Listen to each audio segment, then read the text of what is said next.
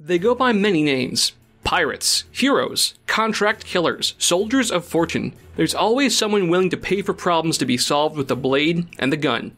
Mercenary work is the business of war, and business is booming.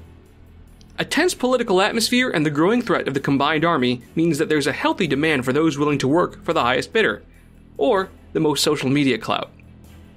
Whether they're called PMCs or influencers, these soldiers are one thing above all else they're mercenaries. So you want to be a mercenary.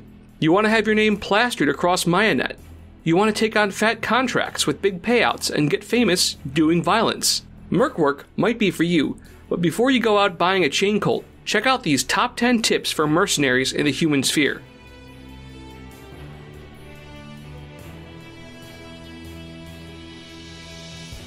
For a mercenary, reputation is everything. Whether you're famous or infamous, or neither, there's literally nothing more important than your company's rep. Not your gear, not your training, and certainly not your ethics. If you're a popular company, you'll roll into a settlement with your followers and fans all waiting to greet you. If you need a place to stay, or a hookup for some double action ammo, you can get it. It's one part hero worship, one part admiration, and one part genuine affection for do gooders. The Van Orton Contracts Foreign Company is an extremely high profile and popular group, and with good reason. They have an all star roster of mercs that include Aristeia champions, Avicenna, Kaplans, and Doctari. They don't rely on public transit, they've got their own ship, the FCS Modern Wife. All these AAA services come with a hefty price tag, though, and let them choose the most choice missions. Foreign Company gets to take down pirate ships, rescue orphans, escort refugees on Paradiso, and provide security on the most relaxing resorts on Varuna. Mercenaries of a certain high caliber are a mix of social media influencer and Formula One racer. Starco is literally the most famous PMC in the galaxy, with a strict ethical position dedicated to supporting human rights and individual liberties. Everyone wants Starco to use their guns, wear their armor, drink their beer, and sleep on their mattresses. You guys ever hear of Purple Mattresses? They sponsor a lot of podcasts. They don't sponsor me. I'm tiny. I'm the smallest. I'm doing lore videos on Infinity. Just like or dislike this video. Better let leave me a comment for your favorite mercenary company, and I'll do them this year for sure. If your rep is good, doors are open that would normally be locked. If it's too good, though, you might miss out on some spicy contracts of a more questionable nature. Black sanction is a term used to refer to contracts that are not what they seem. You hop on the war market and you see a really generic contract. What you're really doing is signing up for a breaking and entering mission to ruin the reputation of some Maya icon. Black sanction means illegal and unsavory. Theft, drug running, intimidation, union busting, all the fun stuff that Aleph hates. You don't want to have a shiny reputation when you take on these jobs. Your employers will know that you're too much of a white hat and won't hire you. But you also don't want knowledge that you took it on to get out either. Trans Etheria Transport isn't going to hire you to guard a bus full of orphans if they know that you were behind that big orphan bus bombing campaign of 57NC. They might even put out a bounty on your head. So, you take a black sanction job. Now what?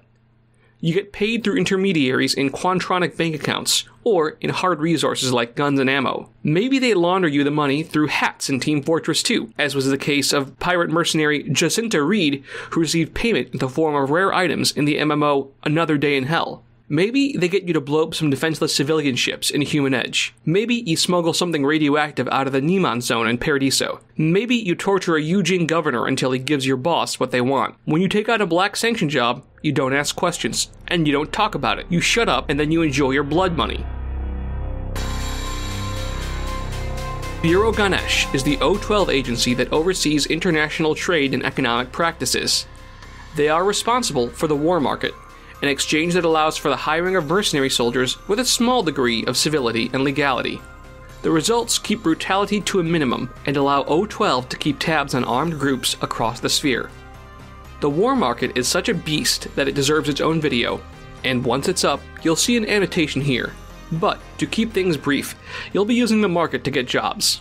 First, Bureau Ganesh will establish the estimated value of the assets of your applicant company, and will translate that to shares available on the market, which will get you some seed funding for future operations. Assuming you're legit, an interested party will contact your agent. You do have an agent, right?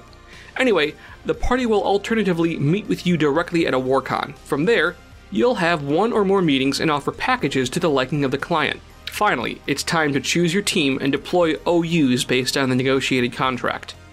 An OU is an operative unit, which is a 10 person unit that includes a ranking officer. They were originally called battle groups, but the war market has since taken to adopting euphemisms in an attempt to avoid the unsavory nature of selling violence. After that, the next step is getting there. You're not going to be seen as a welcome sight for the authorities when you roll up. At best, you'll be seen as colleagues. If you've got enough of a Maya following, you might even have some fans. But the cops are always going to be on edge. Expect extra security watching you from the moment you arrive. In fact, you should probably check in with the local authorities as soon as possible. After all, checking in with the local government is standard practice, whether you're on Human Edge or Mars. You should turn on your tags too. Your social cloud can broadcast your status as a licensed soldier of fortune. If you can give an air of legitimacy, the cops might even let you wield your fancy rifles and your custom battle armor. If not, then you'll probably be asked to check in your weapons of war when you get there. You won't be getting there on a ship, of course. A spacecraft is an expense that you will almost certainly never be able to afford. Besides, the circulars can be a very luxurious way to travel, and they can be very discreet when you're traveling amongst the masses. You might want to keep your tags off, though, allowing you to stay under the radar. That way, you won't have to answer questions like, Whose robot is this? and Why does it have a head shaped like a wolf? or Is this a Zoids? and Do you remember Zoids? and Let me tell you about my Zoids original character. Professional militaries use massive supply chains funded by state enterprise and taxpayer income. You do not. Everything you use, you lose. You're under constant pressure to reduce costs. That means your quartermaster is quick to stop questioning, Oh, where did you get that viral rifle? And your tactical manager will avoid things like, Is this weapon a war crime? Clients care about PR, sure, but clients also don't understand just how close you'll be to bankruptcy. You're doing a violence for money. You're a disposable extension of a real military. You might just get away with breaking one or more laws with your gear. Speaking of gear, make sure to check out that one video I did on weaponry. There's more coming, but I want you to give it a watch before you decide on your loadout. Oh, or you can just buy an SMG. So, who would ever want to make a life as a soldier of fortune?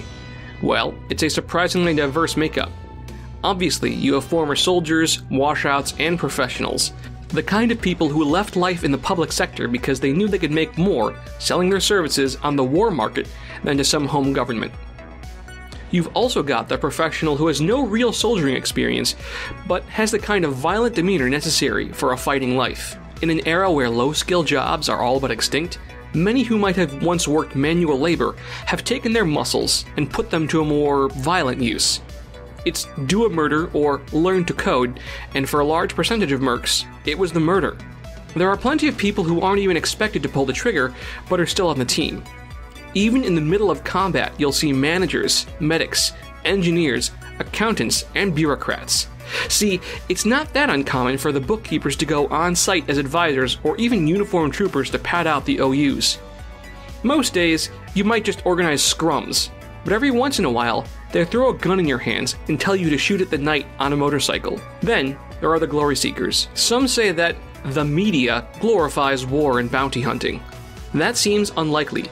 O12 constantly puts out very informative dramas about the horrors of conflict and advocates for peace. There are very few programs that glorify mercenary work, though, and with the exception of shows like Outlaw Star, The Expanse, Farscape, The Mandalorian, Firefly, Space Dandy, Interster, Hyperdrive, Three Below, Killjoys, Red Dwarf, Star Hunter, Battle Angel Alita, Another Life, Iria, Zeiram the Bounty Hunter, Dark Matter, The Hard, Gunsmith Cats, Metroid, Black Lagoon, Star Hunter 2300, and Trigun, the effect has been greatly exaggerated. The human sphere's politics teeter on a knife edge, but standards of living have never been higher. Maybe you're bored working 15 hours a week and making a living wage. Maybe life in Rodina is dull. Mercenary work offers a chance to get famous and make money, and for the very top operators, a chance to look very good while doing it. If you want to look good, you'll need good gear.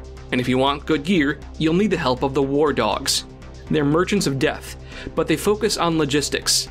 They transport free companies to and from assigned theaters and run guns to set operations.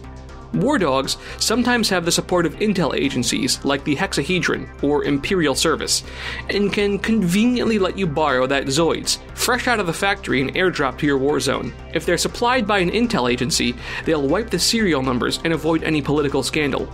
They'll hunt down any pesky journalist that tries to ask too many questions. For you, War Dogs have no loyalty. They'll get you to Dawn, sure, but they might also have a competing PMC in different bunks on the same ship. You should absolutely know your stats if you're operating on the War Market Exchange. You've got the biggest ones like the CSSE, or Customer Satisfaction and Service Extensions. That's how happy your clients are. But then you've also got your CVR, your Combat Victory Record. You can't forget your CE and CD estimate, or Cost Efficiency and Collateral Damage.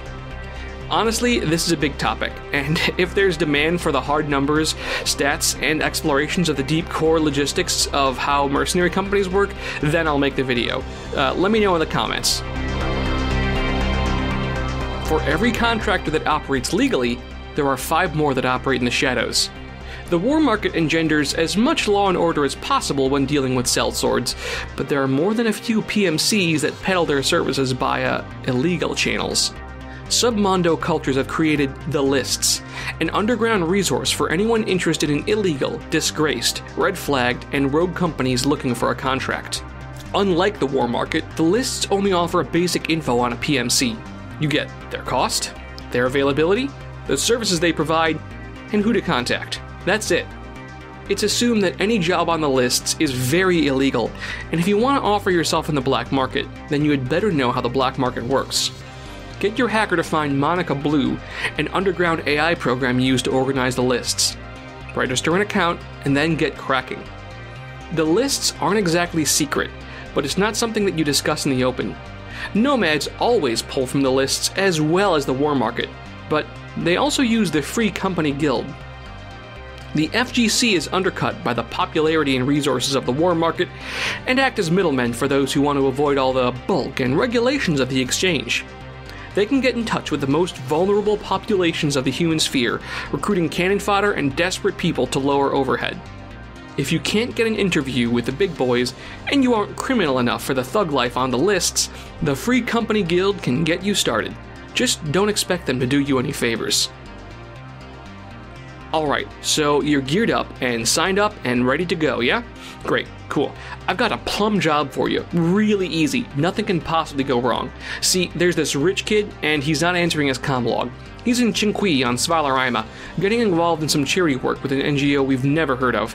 No problem. Just get in there, do some poking, and drag him home. You know, no problem, no complications at all.